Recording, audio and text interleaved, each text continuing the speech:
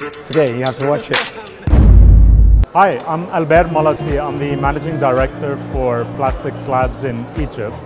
At Flat6Labs, we're a manager of venture capital funds and manager of startup programs, where we offer seed capital and take startups through our seed programs.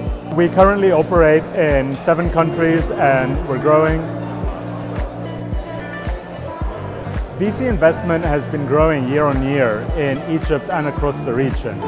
In terms of number of deals, deal sizes, we've been, and we've also been seeing the maturity of the founders uh, increase year on year.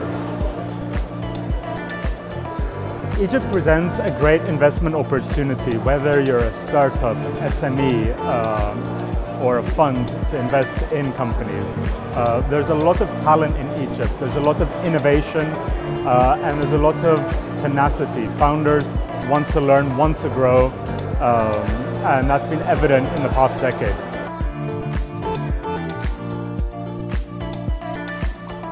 Since the startup ecosystem has been growing year on year, uh, we see greater opportunities in terms of the quality of the pipeline, the investable pipeline, the innovation of ideas, and the founders and the founding teams themselves. So it's a great opportunity for the markets both here in Egypt and the surrounding countries in the Middle East.